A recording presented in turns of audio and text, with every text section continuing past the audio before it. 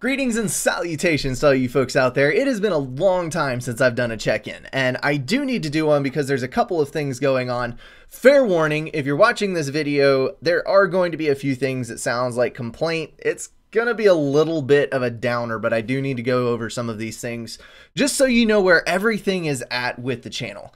Um, the biggest thing that is going to be changing right now is I'm going to take a little break from the Supcom casts that means other people's games that I get sent replays of and churn out videos about them.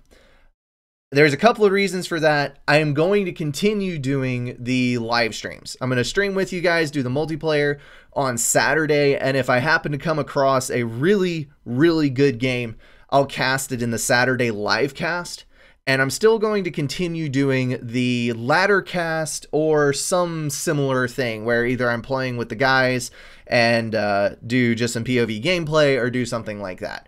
Um, so you're still going to be getting two supcom videos a week, just not the other two that are the replay casts. And the reasons for that are several.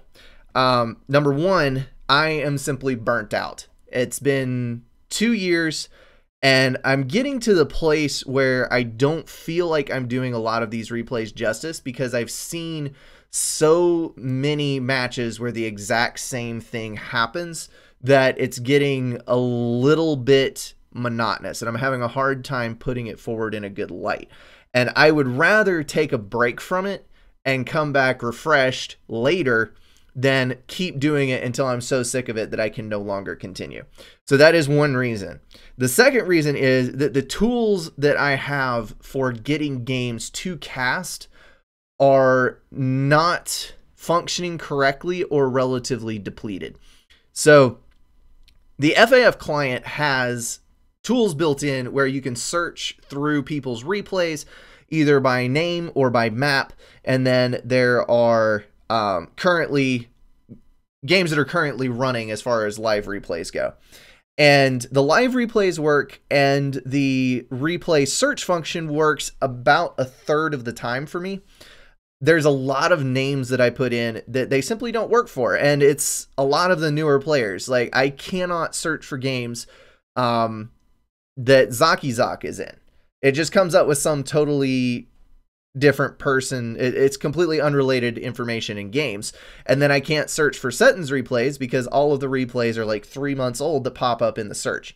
So I know a lot of people have been complaining about and discussing the fact that there's many things broken in the client and I know why a lot of stuff is broken in the client but the fact remains that it is broken and it's hard to get things together to cast when that is the case.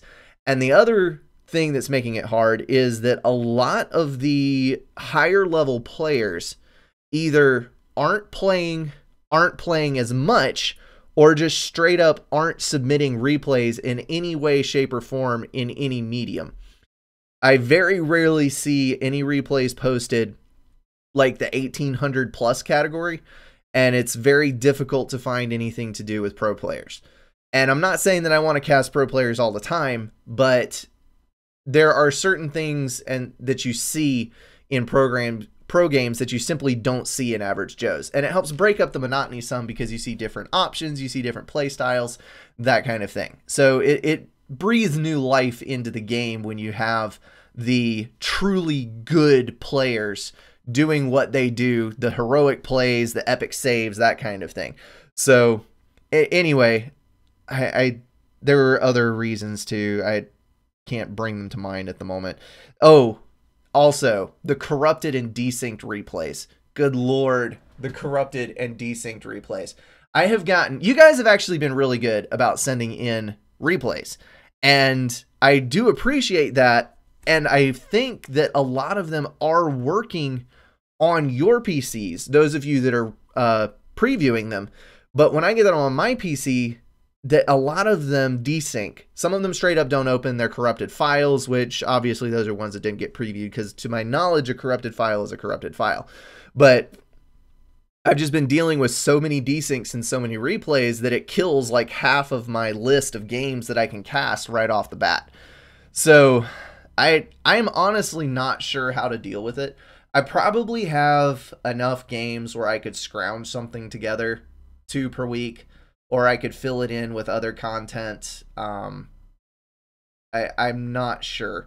But the fact remains that I am relatively burnt out on Supreme Commander. I'm still interested in playing it. I've had some really fun games recently. I actually tried to record a couple, but they just didn't come out straight. It really wasn't worth watching. Um, but I the the casting is starting to get to me just a little bit. And so I'm going to maintain my release schedule. I've got the Dawn of War series. I'm actually planning on playing Command and Conquer. It's going to be starting possibly in a week. It's probably going to be two weeks. Um, Rhapsody, that you guys have seen in the podcast, is going to be doing Command and Conquer with me. So we're going to be blasting through that campaign. Ought to be a load of fun. I played the first couple of missions, um, trying to record them, and there something was wrong with the recording. I'm not sure what. It was super stuttery. I had to take it down, but it, it was really fun to play. So I'm looking forward to doing that one. Um, and then there are some new games releasing. I think I'm going to start streaming some Overwatch um, because I haven't been in a first-person shooter or an arena shooter in a very, very, very long time, probably since Call of Duty Modern Warfare 3. I played a little bit of Battlefield 4 on the PC, but I never really got into it because I was so burnt out on war games. Um, but anyway, so I'm going to be doing a little bit of that. I am going to try to acquire a copy of Total War Warhammer. So that'll give us another epic RTS to do. And there was another game too that I was looking at that I cannot recall the name of. Anyway, so there's going to be some other stuff going on on the channel, but I want to be exceptionally clear on this point. I am not giving up Supreme Commander content for the sake of having other content. If I had the same amount of replays of the same quality without being desynced and corrupted as I had in like the first year that I was casting, I would still be plugging away doing the supcom casting, and I would either not be doing so much other stuff or the other stuff would be additional. But the way things are sitting right now, I'm just having a really hard time um, finding the heart to cast. And when my heart's not in it, you guys are going to be able to tell, and the content's not going to be as good. You guys aren't going to enjoy it as much because I'm not enjoying it as much. And it's just no fun for anybody. So I think it's better to take a break. Now, how long is the break going to be? I can't answer that question. Um, if everything comes back together on the client and, you know, a month, two months down the road, everything is looking great and people are back and playing, which honestly, part of it is there's always dead time with Supcom in the summer because people are off on vacations, people are doing other things. Uh, school is out, so people aren't at university, may not have as much time to game, may not have an internet connection to game with, yada, yada, yada. It's consistently that way. I've been on FAF for three years, and the summertime is always the slow time, which really weirded me out the first time because I would have thought, oh, everybody's on break, so Supcom would be alive in the summer. That is not the case. the best times are, you know, like in the in the early fall when school's just starting and you know around around the school schedule is is when FAF really comes alive. So it may be that at the end of summer everything picks back up again. Everything is good.